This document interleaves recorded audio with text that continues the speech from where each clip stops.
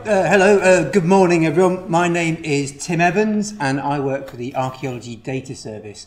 For those of you that don't know who the ADS are, we are an open access accredited digital archive for archaeological data in the UK and for UK based field workers. Um, 20 years after, because the ADS has celebrated its 20th anniversary. Many years ago, a group of very forward-thinking individuals from archaeological departments and the CBA thought that we needed an archaeology data service. So approached an organisation known as the AHDS, which was funded by the Arts and Humanities Research Board, later Council, to set up a data centre. And at that time, we were one of five data centres alongside music, performing arts, history, history and English literature. And I was quite tempted just to give a tour de force of the, the highlights and the victories and the swashbuckling adventures of the ADS over those 20 years, because there have been many good responses to our work. These are just some anonymised comments that have been supplied to the ADS by email, uh, personal conversation or Twitter over the last 20 years. And it's always really pleasing to get that good feedback from a wide range of users, from the most loftiest academic down to somebody just researching what's in their back garden or field next door. It isn't always good feedback. However, on occasion, you get slightly mystified queries from people just treating you as a kind of random help desk about life in general. But that's fine, we're always happy to help, especially when it's my mum. Uh, sometimes the comments aren't always quite so positive. Again, these are anonymised real comments. Um, I would, again, I'm always happy to receive constructive criticism about how the ADS can get better. I do think setting up an uh, email account called I hate ADS at yahoo.com and sending us that is a little bit too far. But hey ho. So, a bit more background to give you context to what I'm going to talk about. We were founded in 1996 as part of the AHDS. Our first collection, which was the old Royal Commission Scotland uh, database, uh, we accessioned in 1998 as an Access 97 version uh, uh, database. Um, the first iteration of the website with an aim to provide access to this information also came out in 1998. But it hasn't always been smooth sailing. In 2008, the AHRC announced it was withdrawing funding for the whole of the HDS. So it's not just ADS, but the other four data centres as well. And although they kept up a level of core funding for the ADS as that withdrew, in the last couple of years, we now receive no funding from that research council at all. In a manner of speaking, that's because we've been a success. We've managed to stand on our own two feet. And that's because we have this charging policy. The ADS charging policy can sometimes be controversial. Why are you charging for this? Well, we need skilled staff, we need IT support, we need a whole range of things, as you're about to see in the rest of uh, the uh, slides here, to be a digital archive. But as well as that funding model, it's also changed into how and what we do. When we first started, our core remit as part of that HDS was AHRC funded projects. But we quickly started to take on national inventories or specialist databases, normally finds databases, uh, created by researchers. Um, but we were still very much a small organisation in terms of how we were doing it we had one Oracle database with one schema in it where everything went, and we had two or three actual physical servers that were enshrined up on campus, and we must never touch these servers. Um, but we actually also had relatively little data. Um, I've had too much time on my hands, obviously, so I decided to actually count how much data the ADS have taken in over the years. Um, looking at this slide here, this is the uh, amount of data we've accessioned every year, and the black line is the number of accessions. An accession is the kind of somebody actually saying, hi Tim, here's an FTP uh, drop off of a thousand TIFF files, or somebody saying, here's an email with a PDF file. It's just the mode of delivery of file. And as you can see, since really 2006, which coincidentally is when I joined, uh, we've taken a lot more data. Um, so last year, over 1,400 single deposits with the ADS. And that data was getting even bigger. As you can see, in 2017, we took just around three terabytes of data. And this year, even though I haven't modeled the figures, we've exceeded that already in terms of data coming to us. Why? Well, we've again diversified in what we take. As you can see back in the early days, we were taking a small number of these orange blobs here, which are what we call project archives. That might be a FINDS database, it could be a site archive. But then we started to take increasing number of e-prints. That's publishers who want to give us um, out of published uh, content for uh, make available on the web. And latterly, unpublished fieldwork reports deposited through OASIS, which we host on behalf of HE and HES. Um, as you can see, last year we took over a terabyte and a half of actual PDF reports from OASIS alone, which kind of feeds into a much bigger question about why these reports so big? What are people putting in them? Um, but that's for a whole other talk. So yes, we are getting more and more.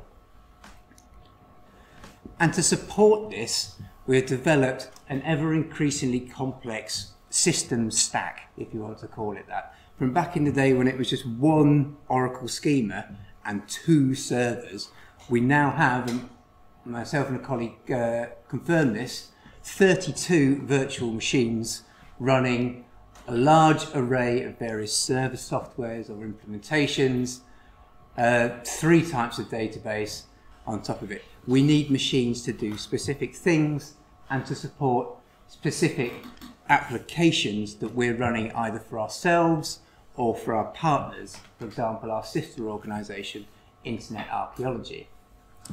As well as this, we have a commitment to getting our metadata out to our partners or uh, people that have a vested interest in the data. So we need to build web services, provide web mapping services, or even OAI PMH targets to people like the Heritage Gateway, Ariadne Data Portal, which Julian Richards spoke about yesterday, or indeed the Marine Environment Data Information Network. This is our duty, this is what we have to support. Some of you will have seen this slide before. This is OAIS, not to get confused with OASIS, which is the kind of lingua franca of digital preservation. Everyone loves this slide. Any digital archive worthy of the name, or indeed physical archive, will follow this conceptual model. And we've always been quite proud of being able to map roles and responsibilities to this model. So for example here, you've got Julian, our director, Donna Page, our administrator, the most important person at the ADS because she makes everything, everyone gets paid. Um, Paul Young, who's uh, responsible really for maintaining that system stack, but also people like uh, Katie Green, who's responsible for going out and advocating for the ADS and getting data in and then modestly a massive picture of me in the middle doing all sorts. But it takes people to run this organisation. It doesn't run by itself. And aside from that, there's also the kind of evolution of what we do in the environments in which we sit. For a long time, ADS have been forerunners of digital preservation, not just in the heritage landscape, but also wider as well. When those people set up the ADS back in 1996, they were well ahead of the curve, and I can say that because Julian's not here. But it was really quite amazing that people were thinking about this.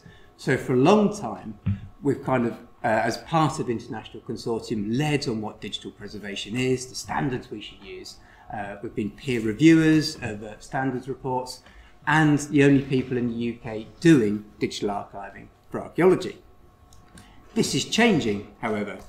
Uh, we now have national bodies such as the British Library or National Archives and UKDA um, doing digital preservation on an industrial scale. When I went to the British Library and said, oh, I've got over 20 terabytes of data, they laughed because they take six terabytes a day. um, but they're developing broad but also very nuanced strategies to deal with digital preservation. We also have the rise of institutional repositories, and then we have the national heritage bodies such as HES that are now doing digital archiving for their respective areas. And also the concepts of what it is to do digital archiving are constantly being pushed forward. On that note, national heritage bodies, we can end optimistically. This is a photo of the launch of the kind of BEDERN working group um, with representatives from Royal Commission Wales, HES, HE, and ourselves under the auspices of the Digital Preservation Coalition um, with this commitment to uh, work together for maintaining standards and approaches to digital preservation across the United Kingdom. And I can't emphasise that enough. It's all about working together. And just at the moment, I think we're all pooling our respective brains into standards for metadata for the archiving of 3D data. The idea is that wherever you are in the UK, you will be adhering to the same standards that we all want you to use. Unfortunately, this beautiful picture is ruined by this gurning berk in the background, which I apologise for. I was actually trying to get out of the way. So that's the BEDERN group. But just to go back quickly, how do we actually do digital archiving now? Well, just to focus on one aspect of the remainder of the talk, which is data management. As I said, we currently have over 2.5 million files, 300 unique formats, and over 20 terabytes, and that's growing at at least 3 terabytes a year. And we have these problems at the ADS. How do we know what we have? Um, how do we associate metadata with the files? What if we've got content in different files that is fundamentally part of the same entity? all these kind of trying to think a bit more advanced here. And for years we've struggled internally in trying to manage this. In the old days, all we had was just lists of files and writing uh, command line tools to produce these lists and then hand upload them to a database. Uh, that failed with my persistent uh, spelling mistakes, especially in comma separated values, which led to that being abandoned. Um, we then looked at a system called Fedora, uh, which is an off-the-shelf solution for maintaining your files, but also giving it a URI. So we tried to build that on top of our existing database. It was very complicated. In fact, it was too complicated for us to merge with an existing system. So that was a very literal rage quit in that case. So like all good archaeologists, we built our own uh, database. Um, we have been working towards this concept of an object. So in this case, a shapefile is comprised, comprised of those four bits that the depositor gave us.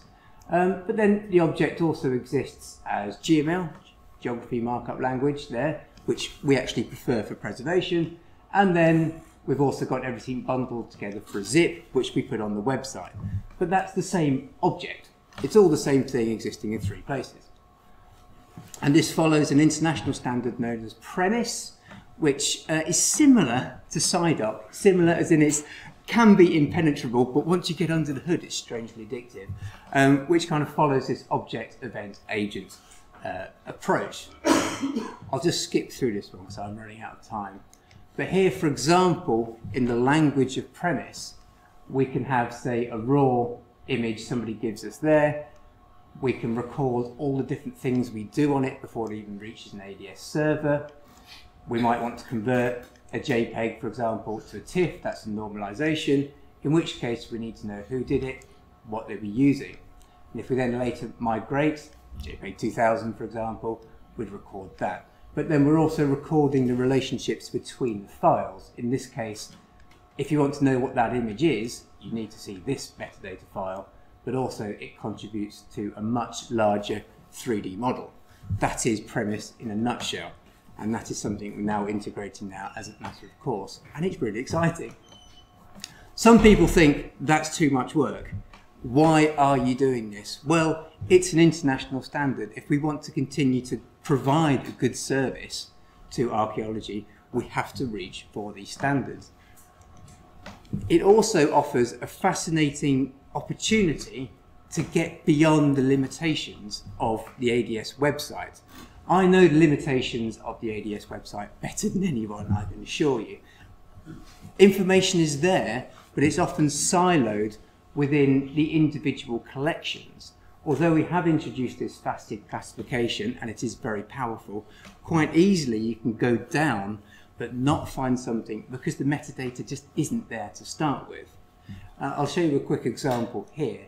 This is a kind of bog standard archaeological site from now we get in from commercial archaeology. In this case, the unit have done everything correctly.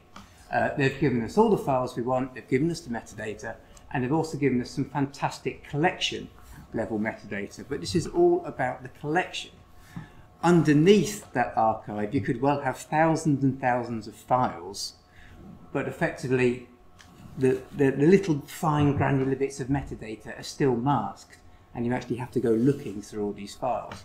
By extending our database to take all the metadata that's being compiled by our users and going into the database, we then have this granular metadata.